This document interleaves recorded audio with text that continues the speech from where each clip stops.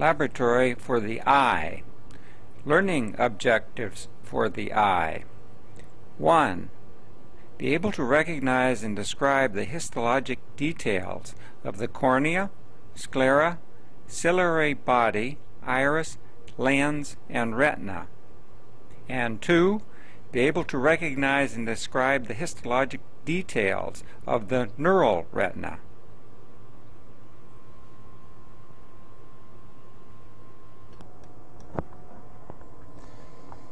The wall of the eyeball consists of an outer corneal scleral coat, a central coat called the uvea, and an inner coat called the retina.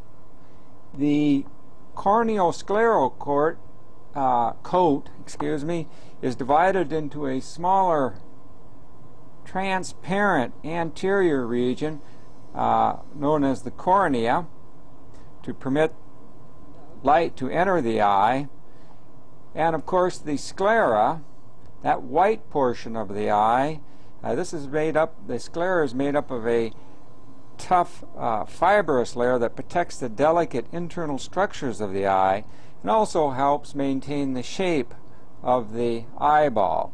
So the, as the name indicates, the corneal scleral coat consists of a transparent anterior cornea and this rather opaque uh, scleral region. Now the uveal coat consists of a choroid, which is shown here as this little black line in this diagrammatic uh, picture, the ciliary body, and then finally continues on as the iris of the eye.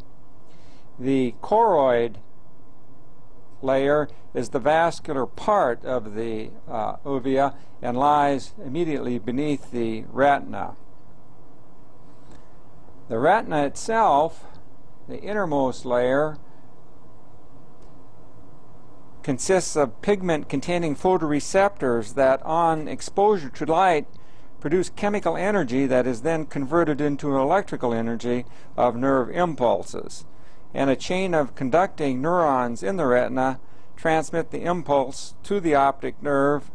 Uh, the optic nerve collects about in this area uh, in an area known as the optic disc, and that is the point where the nerves of the retina gather to actually form the optic nerve and leave the eyeball. The interior of the eyeball is subdivided into an anterior chamber, a posterior chamber, which is shown here, and a huge vitreal cavity, which is shown here. Each is filled with a transparent medium that helps maintain the shape and the turgor of the eye. The anterior and posterior chambers are continuous through the pupil, which is about uh, this location, uh, and contain a watery aqueous humor that provides the uh, nutrients for the anterior chamber of the eye. The large vitreal cavity behind the lens and filling the majority of the eye is filled with a viscous transparent gel called the vitreous humor or the vitreous body. And so this is sort of just the general overall picture outlay of some of the structures of the eye, uh, showing how the eye is uh, put together in a rather general sense. It should also be pointed out that the neural retina, which is uh, shown right here at this location in this sort of stippled area, is actually only physically anchored at two major points. The so-called optic disc, this area here where the uh, nerve fibers of the retina are forming the optic nerve and exiting the eyeball by going through the sclera, and a point here where the nervous elements of the retina disappear, and this region is known as the ora serrata, this little uh, region here. From this point on, the retina does not contain uh, its uh, neural type elements. So this, these two points are the only physically anchoring points of the retina. Uh, the remainder of the retina lies on the pigment epithelium and on the uvea, uh, and it's just held there by the sort of the vitreous body and the slight pressure, as it were, though it's not a true pressure.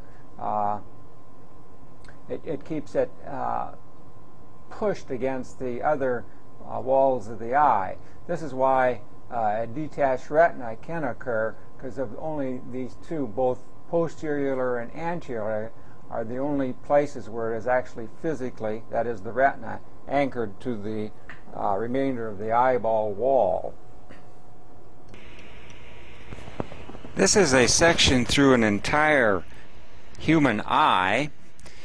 Uh, so we're seeing it, sort of midway, cut along its uh, long axis, and it demonstrates the corneal scleral coat.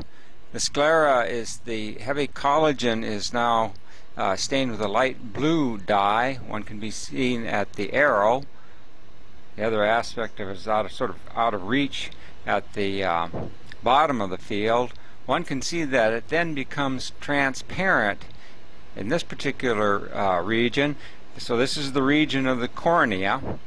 Immediately behind the uh, cornea, as illustrated by the arrow, is the anterior chamber. This particular structure here is the lens. The ciliary body is located here and indicated by the arrow, as it is here. And this thin strand coming out in this particular direction and from over here is the iris as viewed in section. The pupil is where the tip of the arrow now resides. Though not shown at this magnification, the zonule fibers extend from the ciliary processes of the ciliary body and attached to the uh, lens, these uh, zonule fibers, and make the sort of a little ligament that attaches and holds the lens in position. So that being the case, this anterior chamber is located here on the inner, as one passes through the pupil before that suspensory ligament of the lens made up of the zonule fibers is the posterior uh, chamber of the eye. Both of these will be filled with the aqueous humor.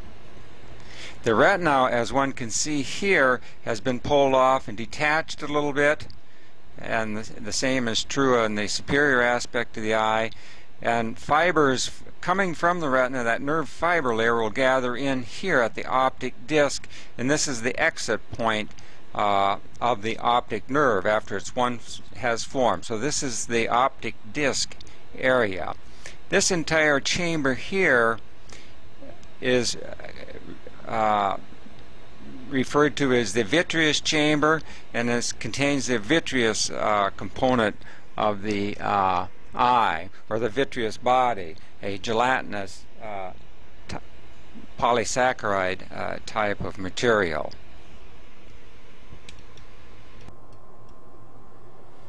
This is a section of the eye as seen with the scanning objective. What I plan to do is to course around the perimeter of the eye and just uh, pointing out various structures.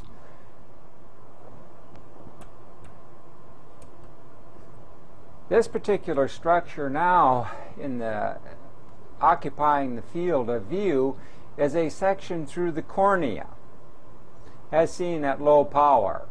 The corneal epithelium, which would be on the outside of the eye, is indicated at the tip of the arrow. This large blue stained area is the substantia propria or the stroma of the cornea and barely visible a small layer of cuboidal cells is the corneal endothelium.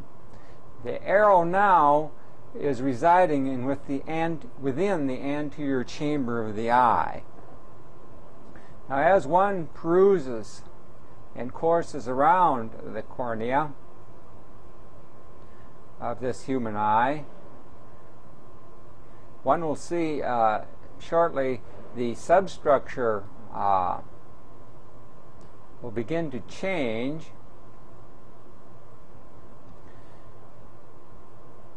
and one can see a little bit uh, of a difference if we took an angle such as uh, right about here.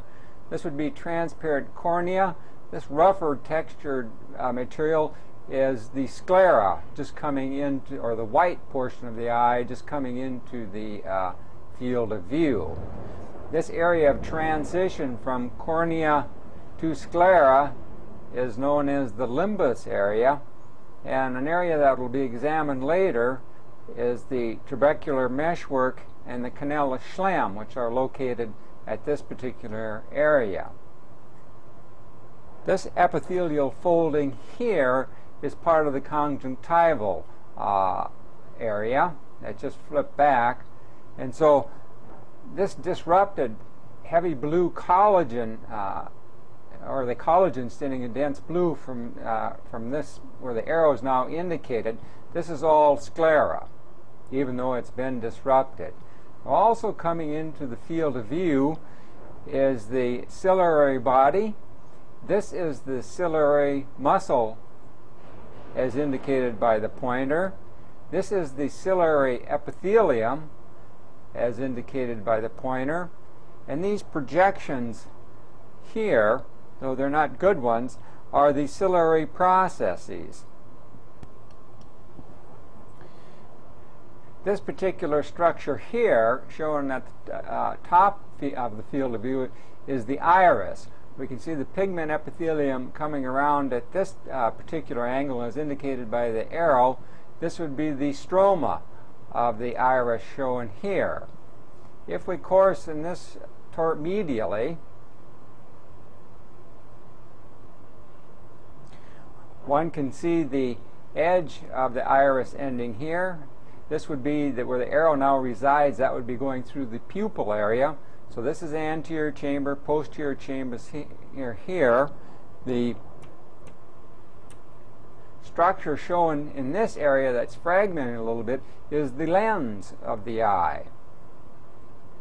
Now if we course back in this particular direction, one can make out little fragments such as this. These are the zonular fibers that are going to form the suspensory ligament of the eye and they extend from the ciliary processes to the equator of the uh, lens over uh, where the arrow now indicates. Now this little membrane is a residual membrane sort of behind the lens and just uh, posterior to the ciliary body and ciliary processes. This is, would, I think, just a remnant of where the vitreous body would reside. This would be vitreous chamber here, just the uh, anteriormost portion of it. So this area here, once again, sclera, ciliary body with the ciliary muscle located here, ciliary processes here, and then the iris extending in this particular direction. Now if we course around the circumference of the eye, one can see the epithelium located here. The ciliary muscle continues to thin out.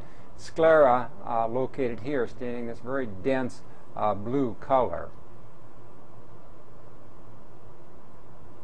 We're now going posteriorly in the eye. Notice even though it's disrupted, there's a change here. This change is known as the ora serrata. It's a, a uh, change where the neural elements of the retina uh, uh, now enter the picture. And we'll get by this disrupted area. What we're seeing here, right at the edge of the pointer, though not well, is the neural retina. And it's pulled apart from the sclera you can see it's separated at, at some distance, sort of split through the choroid. So we'll continue beyond this disrupted area and finally get back to where it's uh, intact. Here we can see uh, the neural retina here extends from here to here. This intense little line, or so it appears, is the pigment epithelium this area from the pigment epithelium to the sclera is the choroid. And then, of course, the sclera, this heavy band of collagen that's staining a dark blue. We're now uh, at the posterior aspect of the eye. And this is the, an area of interest. Coming into the field now is the optic disc area, the so-called blind spot of the eye. And what this shows uh, quite well in this particular illustration, note how the neural retina and the pigment epithelium thin out and disappear. Actually, the nerve fiber layer of the retina is quite thick at this particular point. These process are, processes are coming from the ganglion cells and they're forming the optic nerve. And they come from uh, all sides, as it were, if one thinks three-dimensionally. So the retina stops and the optic nerve, developing optic nerve fibers penetrate through the sclera at the optic disc. You just have a few partitions of collagen holding or giving structure to the nerve and to that area where it penetrates through. This is area is known as the area cribrosa. So this whole area here, as seen with the scanner, is the region of the optic disc. Now if we continue on the other side, once again, one can see the retina has reconstituted itself, the choroid's intact, and of course we have the very robust uh, sclera. And we're just coursing around uh, back the other way. Very good intact retina here resting right on the choroid and then the choroid resting on the sclera as it should be in a non-disrupted uh, specimen. Here we get into a little more disruption as we course around. We're now obviously going anteriorly. anteriorly. One can see the retina beginning to thin. And then very quickly, the neural retina disappears. Again, this is the uh, area of the ora serrata on the other side. And the neural elements of the, or the neural retina disappears, though the pigment epithelium uh, and some of the supporting cells remain.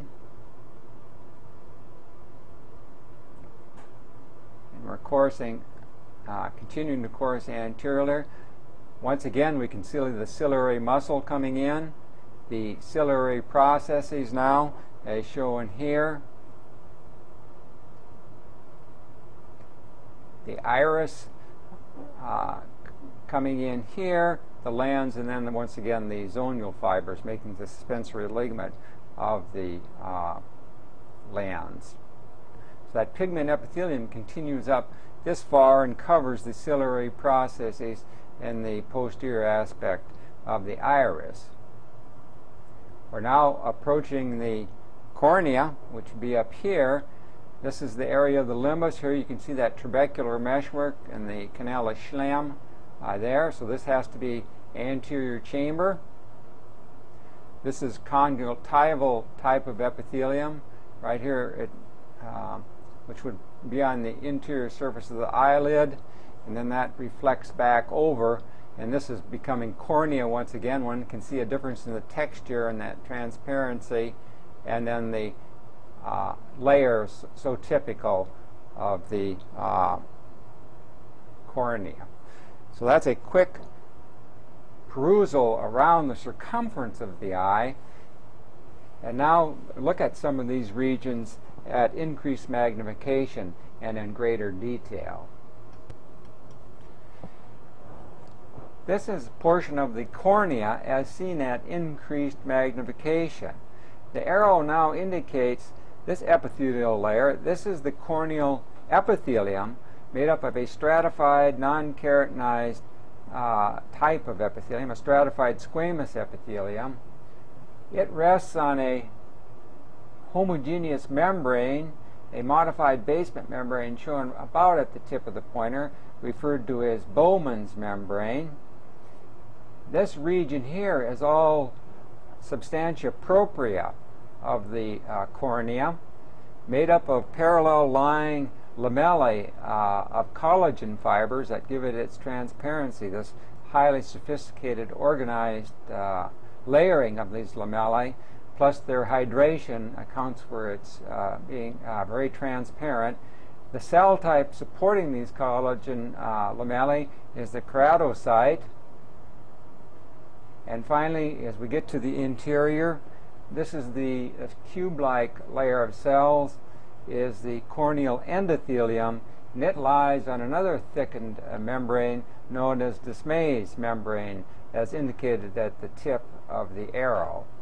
So this is the appearance of the cornea as seen at increased magnification. This is another section of cornea as seen with the hematoxylin and eosin type of preparation showing at the tip of the arrow the epithelium, that is the corneal epithelium, Bowman's membrane, right underneath it, that thin homogeneous layer. This entire thickness here, as indicated by the arrow, is all substantia propria, or the stroma of the cornea. One can see the collagenous lamellae uh, as it's pulled apart in various places. You can uh, somewhat visualize that, like at the tip of the arrow. And these are the nuclei of the keratocytes uh, that are these cells that are maintaining these uh, corneal lamellae made up of collagen fibers. This row of cells down at this particular point are the corneal endothelial cells and Descemet's membrane lies just on the substantia propria side of the endothelial cells. So those en corneal endothelial cells actually are lying on this Descemet's membrane, which is not very visible on this particular preparation. This particular field is a relatively high power field uh, of the human cornea showing overlying corneal epithelium. This homogeneous barrier lying where the tip of the pointer uh, now resides is a huge modified basement membrane known as Bowman's membrane and just beneath it and filling up this area we're just getting a portion of the stroma of the cornea. The uh, stroma of the cornea oftentimes is referred to as the uh, substantia propria. Also shown fairly well on this particular uh, section are the so-called uh, keratocytes, the cells within the substantia propria. These are their nuclei and, and part of the cytoplasm, lying between uh, the broad corneal lamellae made up of uh, collagen fibers that run sort of parallel to the surface uh, of the cornea.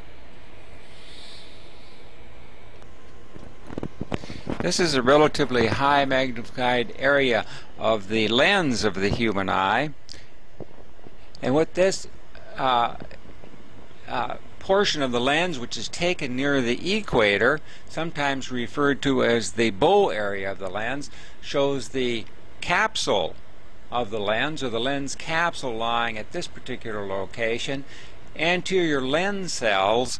And what's interesting about this area it shows their incorporation and migration into the interior of the lens where they become lens fiber cells. And as they migrate in and mature, they elongate, and finally their nuclei uh, liquefy and are lost, so they may maintain uh, strange junctional complexes with one another in that uh, ball and socket type of configuration. So now that we've entered where the arrow is, now getting into the interior of the lens substance, uh, the nuclei have uh, totally disappeared but one can make out some of the lens fibers as they're streaking around and their associated nuclei. This is taken from the bow area of the lens or the, uh, near the equator uh, where the zonule fibers are going to be inserting uh, near here, but just shows this uh, migration of anterior lens cells and their incorporation into the substance of the lens where they will become the lens fibers. This is another segment of lens uh, taken with the plastic prepared type of material near the bow area of the lens or near its equator showing uh, the anterior lens cells here. And once again, perhaps showing a little bit clearer and better the migration of the anterior cells uh, into the lens and becoming the uh, lens fiber cells. One can see the processes, if one looks very carefully, extending as these cells flatten and elongate markedly. And so this particular field shows quite beautifully this elongation of these cells and their continued development as they enter into the uh, lens substance.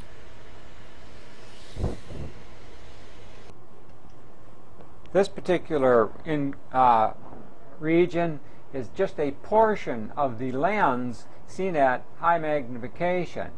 So this is lens substance uh, here. The nuclei of a few lens fiber cells can be made out. But these are the anterior lens cells, this layer of cuboidal cells here, a simple layer of uh, cuboidal cells. And just exterior to it is the lens capsule. So this is from the anterior portion of the lens, showing you anterior lens cells in that thick overlying lens capsule.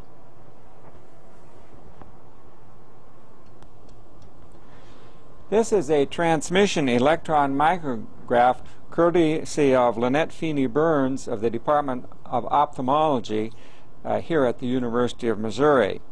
Uh, what it, this particular figure illustrates, remember this is a transmission electron micrograph taken near the equator of a human lens.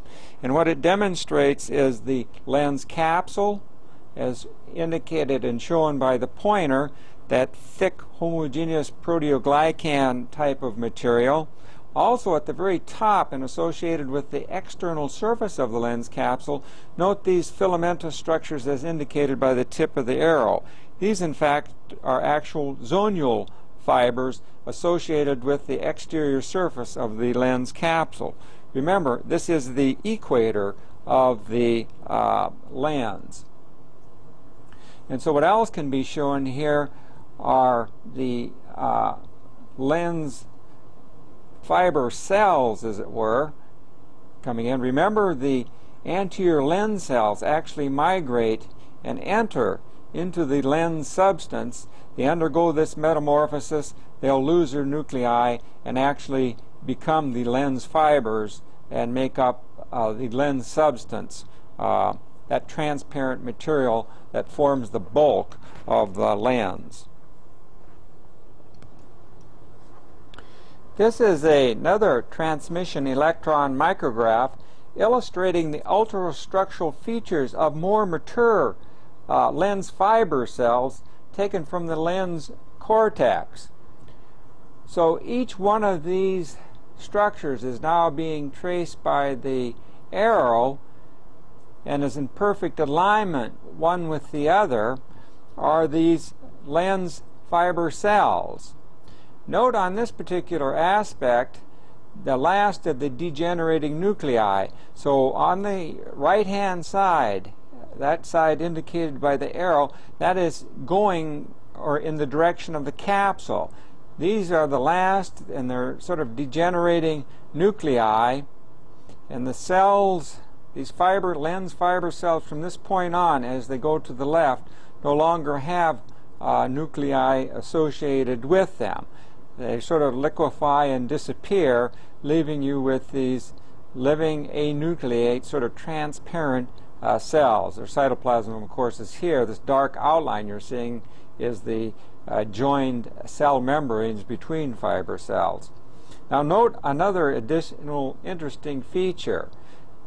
At various locations along and between these fiber cells, you have this ball and socket type of arrangement. So they very fit very tightly together, uh, giving them some degree of flexibility and mobility if one uh, asks the question, how does, when the lens changes its shape during focus, uh, how do these cells maintain contact closely together and yet allow a considerable amount of mobility when you think of it in ultrastructural uh, levels and features. Well, this is one of the mechanisms that allows them to move, pivot, and yet are held tightly together you can see the process of this lens fiber cell coming in and penetrating into its adjacent one, uh, forming this uh, ball and socket type of arrangement. Another one of these in this particular field is showing here with this uh, uh, cell that's uh, just about to lose its nucleus. One can make out this little ball projection into the other one, forming another one of these ball and socket uh, type of associations. So somewhere along their uh, length, uh, scattered along their length, these elongated lens fiber cells show this ball and socket arrangement, and this is one of the features that help hold them uh, in close contact and allow for this uh, considerable amount of movement as the lens will become thin or thick depending on the uh, circumstance. This low-powered field of view shows several interesting features. This would be sclera where the pointer now is, but this region up here is the ciliary body. this being the where the arrow now resides and is pointing out is the ciliary muscle. These projections from the ciliary muscle, this epithelial type of projections are the ciliary processes. And if one looks very carefully, one can see these little fragments going across. These are the zonular uh, fibers that are going to form the suspensory ligament of the lens, and just a portion of the lens uh, is shown uh, as indicated by the arrow. So the Zonular fibers extend from the ciliary epithelium to the equator of the lens and form that suspensory ligament. This region here at the tip of the arrow is posterior chamber. This region is anterior chamber. This structure here is the iris, uh, and one can make out the pigment epithelium and then course the stroma of the iris at the tip of the arrow. a fairly close-up feel that shows once again the lens, the lens capsule, anterior lens cells right at the tip of the pointer. This would be posterior chamber where the arrowhead now resides. The pupil will be over just beyond where the pointer is now. This structure cutting across the field is the portion of the iris near the pupil. So this is the anterior chamber here. This is the stromal substance, and this particular band of material here is the sphincter muscle of the uh, iris. This is a high-powered uh, field uh, through a section of the uh, iris uh, illustrating the pigment epithelium as indicated by the tip of the arrow. Also shown in this particular field are some of the fibers of the dilator uh, muscle as seen in cross section and at the tip of the arrow uh, occupying this particular area. The remainder of the field, this is mainly the stroma of the uh, human iris. The anterior chamber would be located where the arrow now resides, the posterior chamber at this particular location. So this is a section through the iris seen at high magnification. This particular uh, illustration shows several ciliary processes as well as shows quite clearly the ciliary epithelium. The ciliary epithelium consists of an inner layer of uh, non-pigmented cells as indicated by the uh, arrow and an outer layer of pigmented cells. Also shown in this particular field are zonular fibers extending from the basal surface of the non-pigmented cells, uh, these zonular fibers, and then will make their way to the lens and form together form part of the suspensory ligament uh, of the lens. This high power field of view shows the trabecular meshwork and the canal of Schlemm.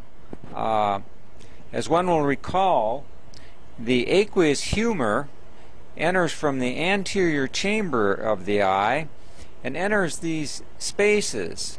This meshwork, a labyrinth of spaces uh, within the trabecular meshwork.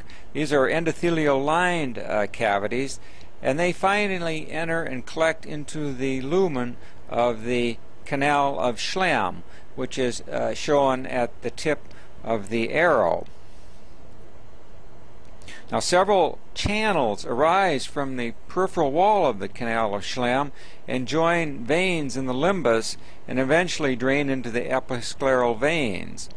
Now obstruction of the drainage of the aqueous humor gives rise to in, uh, intraocular pressure that is a characteristic condition of uh, results in glaucoma. So a there is a flow, a continuous flow of aqueous humor, which is actually produced by the ciliary epithelium on those ciliary processes. Uh, it flows from the posterior chamber in front of the lens through the pupil to enter the uh, anterior chamber of the eye and once it reaches this trabecular meshwork it enters these channels from the uh, anterior chamber here percolates its well through collects into this tube that runs around the circumference of the eye, this canal of Schlemm, and eventually uh, there's numerous little uh, channels uh, that will join it or link it uh, to the episcleral veins, and then, uh, of course, out into the vasculature.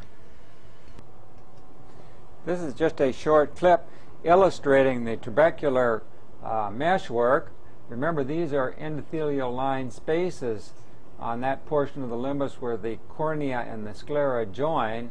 So these, the posterior or the anterior chamber relocated here, aqueous humor or fluid will then percolate through this series of channels and collect into this region here. And this is a longitudinal cut through the uh, Schlemm's canal or the canal of Schlemm. So this is a little bit better view on that human eye of the relationship of the trabecular meshwork and that canal of Schlemm. The uh, actual neural portion of the retina consists essentially of a three neuron conducting chain that will ultimately form the nerve fibers uh, of the optic nerve. And this three uh, neuron uh, conducting chain really is are the photoreceptors, the rods and uh, cone cells as indicated here. They then conduct the impulse that is generated uh, to bipolar neurons or bipolar cells, which will then ultimately go up and uh, synapse with ganglion cells in this third of the uh, neuron chain. It is the axons coming from these ganglion cells that will form the uh, neural fiber network of the retina that as it gets to the posterior aspect of the eye actually collect together and form uh, the optic nerve in the region of the optic disc where it exits actually from the uh, eyeball. Now in addition to these three elements of the neuron chains, that is the rods and cones of the photoreceptors, the bipolar neurons, and the ganglion cells, other intraretinal cells are present, and they're present as either association neurons, horizontal cells, amacrine cells fall in this category, or glial cells. So there are other, other cell types um, associated with the neural retina. Now the entire retina consists of a pigment epithelium and this three neuron chain. So there's a difference between the so-called retina and the neural retina.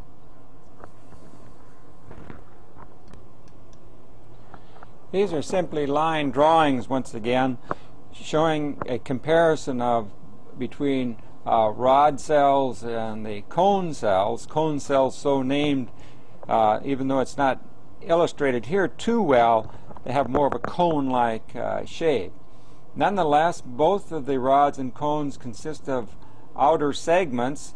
These are these membranous sacs that are being, going to be shed uh, from the tops and be then phagocytized uh, by the underlying pigment epithelium. So they have an outer segment, a region known as the inner segment that contains other organelles, the cell body, which will contain the uh, nucleus, and uh, inner fibers uh, as they go towards the synaptic regions that are either a spherule, when a, we're talking about rod cells, or a pedicle, where they'll then synapse with the bipolar uh, neurons. The pigment epithelium will be at this location, and these outer uh, segments of the rods and cones are actually sort of sit down and are enveloped uh, partially by the uh, pigment epithelium uh, of the retina.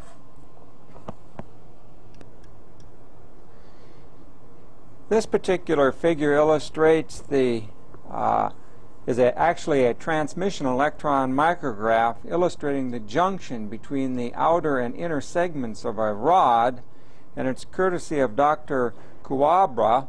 Uh, he's from the National Eye Institute, NIH in Bethesda, Maryland. He donated this particular uh, illustration for us. And what it shows is the inner segment here, outer segment here, of course, with its stacks of membranous discs.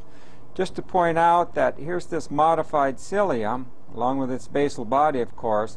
Embryologically, it should be recalled that the outer segments of the rods and cones are all derived or from uh, highly modified cilia uh, during development.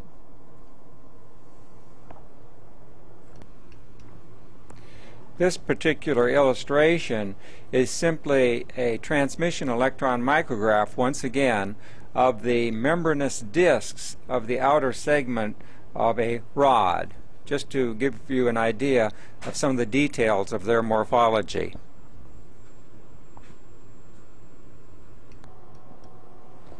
This is a section through the retina along the posterior aspect of the eye. One can see the neural retina, which is, extends from here to this location, as well as the pigment epithelium, which is now indicated by the arrow and characterized by the melanin pigment, and the choriocapillaris layer, uh, as now indicated by the pointer, that innermost part of the choroid down here. Now the retina consists of nine basic uh, layers. And they are the following. Number one, the layer of rods and cones, the this area here, and one can see the little rod-like structures coming down, and occasionally a little uh, more solid-looking structure, a much greater diameter. These would be cone uh, cells, those types of photoreceptors. Layer number two is this thin line here, the external limiting membrane. This zone here, now being crossed by the pointer, is referred to as the outer nuclear layer. This layer now being crossed by the pointer is the outer plexiform layer. The next layer is the inner nuclear layer, the inner plexiform layer, the ganglion cell layer, these cells uh, as indicated by the tip of the pointer, the nerve fiber layer, right here. And finally, this interface right at the tip of the pointer is the internal limiting membrane.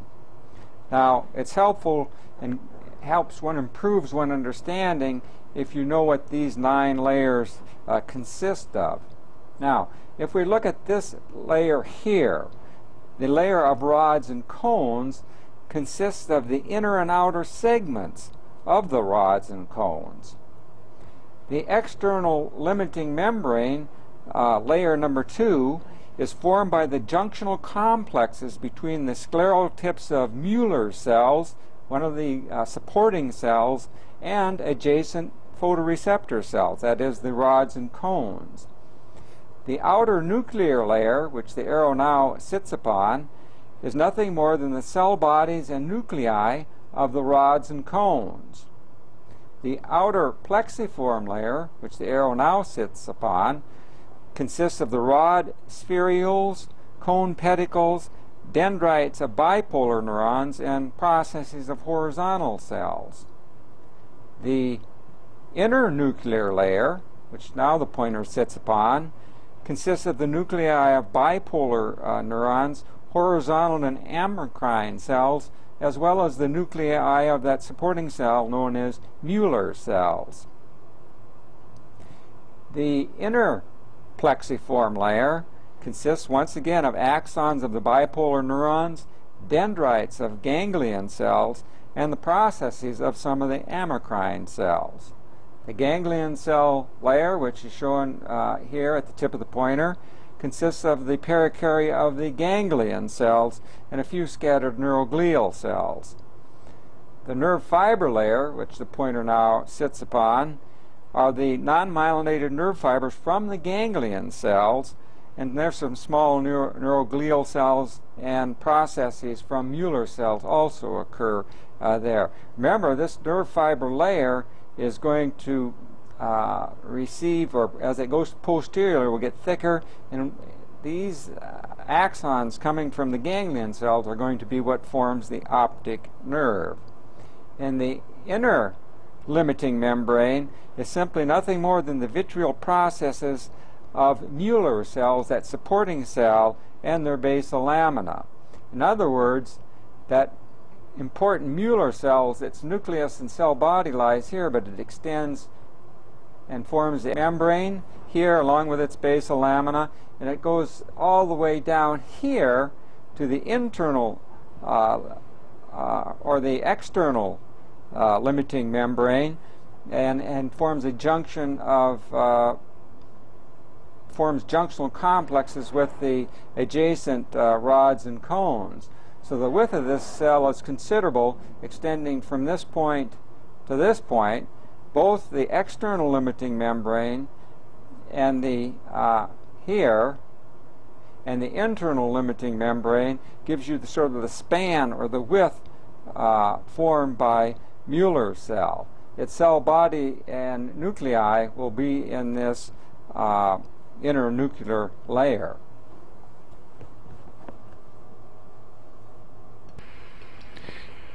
This is a very high-powered uh, view of a plastic section through the retina of a human eye, showing the choroid layer where the arrow now is uh, crossing uh, uh the particular field. This is the pigment epithelium now uh, being illustrated uh, by the tip of the arrow. These are the outer segments, this whole field here, outer segments of the uh, rods and cones. This particular layer here shows the inner segments. And if one looks very, very carefully, a very fine line can be traced right at the tip of the pointer.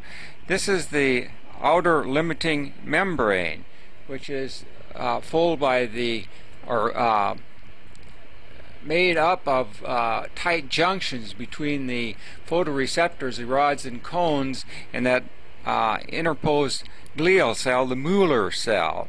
So these are actually this line is formed by junctional complexes between the rods and cones and that Mueller cell. And of course, this layer of uh, nuclei here is the outer nuclear layer and contains or consists of the nuclei of the rods and the cones. So this is a pretty dramatic high-powered view of the uh, details of the retina itself, or the photoreceptors of the retina. This is an additional view of the uh, neural retina, but moving just interior to it, one can see the other layers of the uh, wall of the eye, the sclera and its dense collagen bundles here. This is choroid from uh, where the, it, it joins the uh, sclera to the pigment epithelium, which is shown here. This intense blue line is known as Bruch's membrane, and these darker stenning cells are melanocytes within the choroid layer. There's an intense capillary network just beneath Bruch's membrane, that huge basement membrane-like structure that separates the pigment epithelium from the remainder of the choroid. These vessels here are part of the chorio, uh, choriocapillaris uh, layer, an intense network of small uh, fenestrated capillaries that actually supply the exterior part uh, or the outer part of the retina itself. Now this is a portion of the uh, retina more anteriorly as we approach the ora serrata. And one will notice there's a very abrupt junction at this point where the nervous component of the retina or the neural retina disappears. And that point is right here at the tip of the arrow. So this region or that demarcation line is known as the ora serrata. But uh, note that a thin prolongation of the retina covers, as we noted before, the posterior aspect of the iris. It forms over the uh, ciliary processes as the ciliary epithelium. So the forward extension of the retina beyond the ora serrata consists only of the pigment uh, layer or pigmented layer and a thin layer of columnar epithelial uh, cells as shown here. The nervous component is missing. This is a section from the human eye showing the fovea centralis. The fovea centralis is a funnel-like depression on the posterior aspect of the neural retina in direct line with the visual axis and it's indicated in this uh, rectangle, that white rectangle that's on the uh, viewing screen. Uh, at the fovea centralis, those vitreal layers of the retina which are beyond the outer nuclear layer are displaced laterally, giving light an almost free pathway to photoreceptors. The central region of the fovea, which is about 1.5 millimeters in diameter, consists only of cones that are longer and thinner than elsewhere in the retina.